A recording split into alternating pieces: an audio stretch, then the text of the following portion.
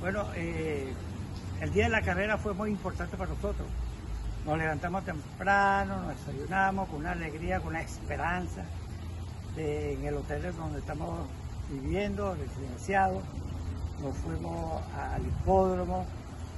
Este, el team fue muy, muy, muy importante para nosotros porque nos dio esa satisfacción, esa alegría que fuimos nosotros al hipódromo.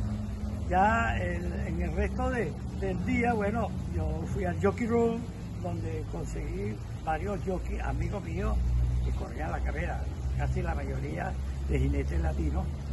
Este, bueno, esperando siempre eh, esa gran carrera, una expectativa muy importante para los jinetes que estamos nosotros metidos en el Jockey Room, los entrenadores, los propietarios, eh, la cantidad de personas que habían ido a ver esa gran carrera, que fue aproximadamente unas 160 mil personas.